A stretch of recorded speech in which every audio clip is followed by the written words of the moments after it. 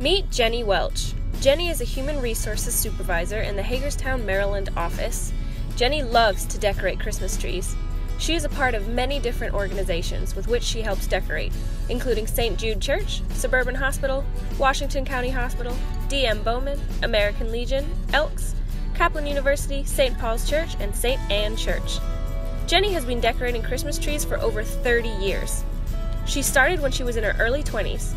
One day, she saw these beautiful handmade Victorian velveteen teddy bears in burgundy and cream in a gift shop, and she was so taken aback by them, but they looked too sophisticated for her Christmas tree.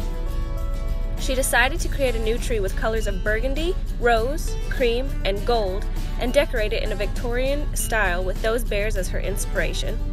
This tree has been a work in progress, and it has changed for over 30 years. It takes her the longest to decorate and has over 450 ornaments on it. Wow! Talk about dedication. Jenny had training on how to make exquisite bows from a high end gift shop in Potomac, Maryland when she was in her early 20s. With all the trees she has done for different places, they always start with offray ribbon.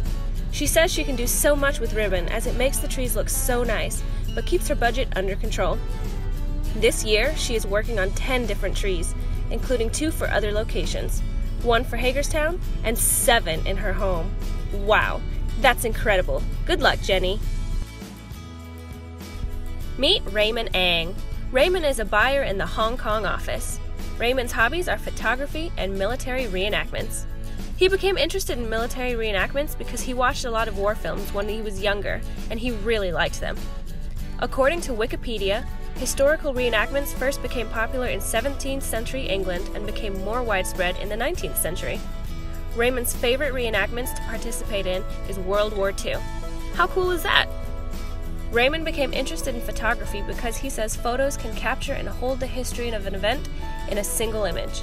Raymond did not take up any classes to learn photography, and he always uses a Sony camera. Keep up the super cool work, Raymond. Great job. Meet Dwayne Farber. Dwayne is an associate category advisor located in the Berwick, Pennsylvania office. Dwayne is also a podcast writer, actor, and producer in his spare time. He is the creator, writer, director, and sound designer of Manifestations, which is a podcast of the Ostium Network. It is a solo narrator, serial, sci fi, solar punk audio drama about the main character, Alan, who finds himself out of place and out of time. Dwayne started as a fan and supporter of a show about an abandoned town where each door you go through takes you to a different place in time. The creator was writing a story for each supporter going through their own door. He also encouraged viewers to write their own story. Dwayne says he thought about the abandoned town near Berwick called Centralia, and on a flight back home from a work trip, he wrote a story about a person from 2019 visiting Centralia on the day the mine fire started. He left the story open ended, and people kept asking him, What happens next? Those questions led to a larger story, and eventually recording it as a serialized podcast. Dwayne has been doing this for only one year and has not had any formal training on it, just hands on training with the help of YouTube videos and tutorials from contacts in the industry.